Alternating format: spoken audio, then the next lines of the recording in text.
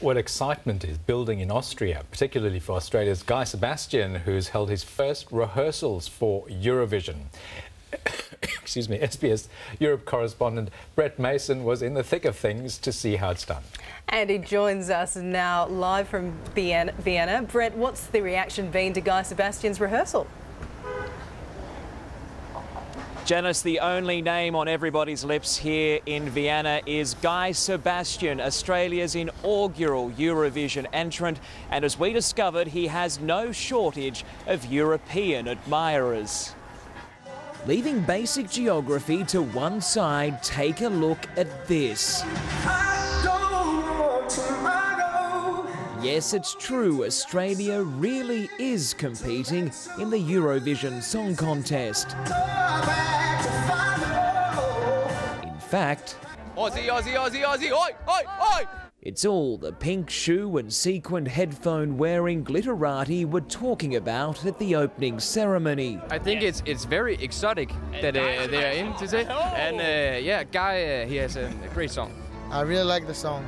Leaving one very popular Australian now available as a souvenir statue, trying to take it all in. At 195 million people or something, like I, my dream growing up was to sing at the carols by candlelight in Adelaide, you know.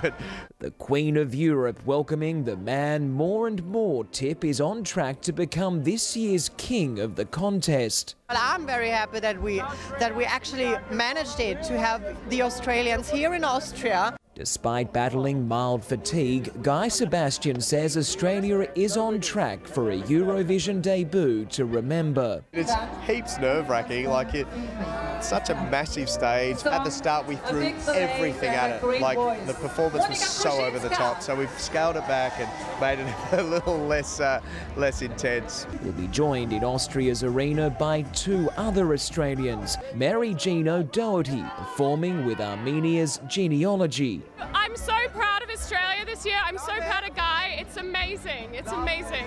And Katrina Noorbergen, who co-wrote Russia's A Million Voices.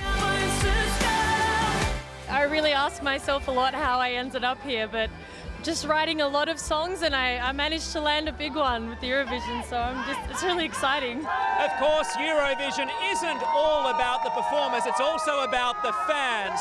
And plenty of them have made the trip from Australia here to Vienna.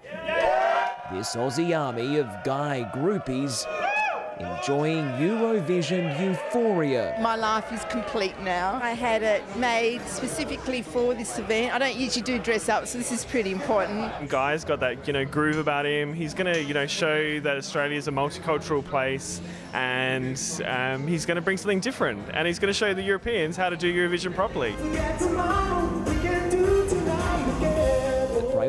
though, is enjoying this adventure with his growing Australian and European fans.